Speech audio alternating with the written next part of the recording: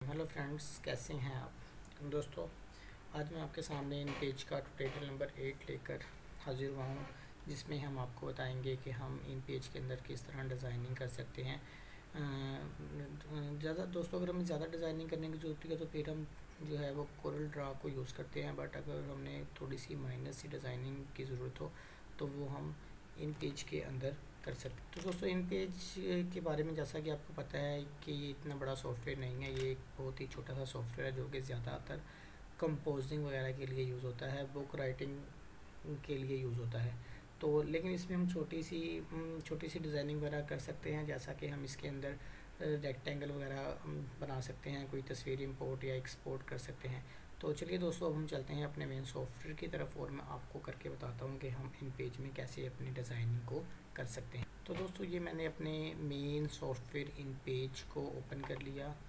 हम नई फ़ाइल को ओपन करते हैं काम करने के लिए। ये हमारे पास एक नया पेज आ गया।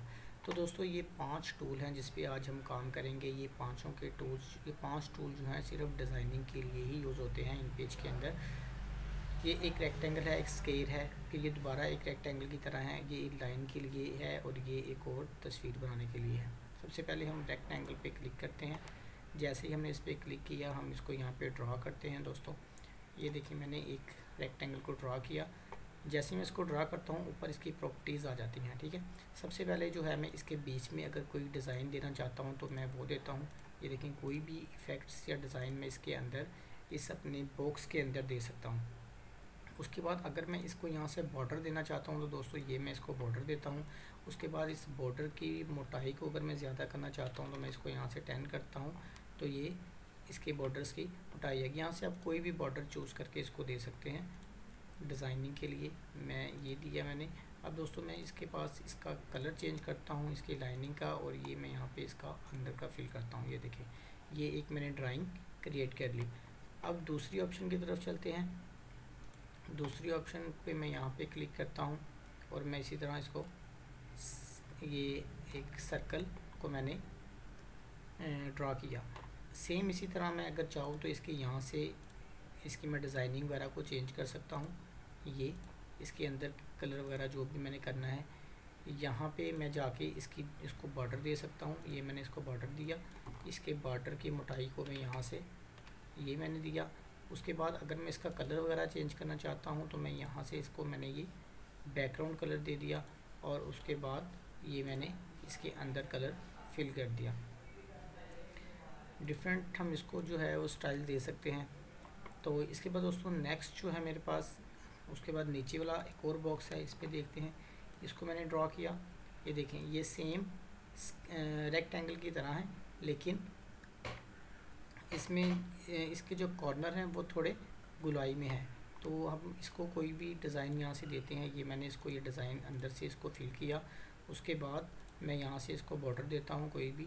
ये मैं इसको, ये मैंने इसके अंदर बॉर्डर दे दिया। उसके बाद अगर मैं इसको यहाँ से मोटाई में इसकी ज़्यादा करता हूँ और उसके बाद मैं यहाँ से ये मैं इसको, ये मैं इसको ग्रे कलर दिया और उसके बाद मैंने इसके जो है वो ये मैंने फिल कर दिया। तो दोस्तों, ये डिज़ाइनिंग थी जो हम कर सकते हैं। उसके बाद अगर हम इसको मूव करना चाहें तो हम इसको यहाँ से पकड़ के सिंपल मूव भी कर सकते हैं। ठीक है? दोस्तों, उसके बाद नेक्स्ट जो ऑप्शन है, वो मेरे पास ये लाइन की ऑप्शन है। अगर हम इसके नीचे लाइन लगाना चाहते हैं, ये मैं नीचे इसके मैंने सिंपल लाइन क्रिएट कर दी है। उसके बाद अगर मैं इसको यहाँ से कोई भी लाइन को स्टाइल देना चाहता हूँ, मैं ये स्टाइल दिया, ये मैंने इसकी थिकनेस को ज़्यादा कर दिया। ये देखिए दोस्तों उसके बाद मैंने इसको यहाँ से एक इसके बॉर्डर का कलर देना है तो मैं इसको ये वाला कलर देता हूँ और इसके अंदर अगर मैं कोई कलर ये मैं रेड फिल करता हूँ। तो ये एक जो है लाइन क्रिएट हो जाती है दोस्तों, ठीक है? उसके बाद अगर मैं यहाँ पे कोई टेक्स्ट या कोई इबारत लिखना चाहता हूँ तो मैं नीचे सिंपल यहाँ पे सॉरी पेज नंबर टू पे तो ये दोस्तों थी आज की जो वीडियो थी, इसमें ये आ गया यहाँ पे डिज़ाइनिंग वगैरह।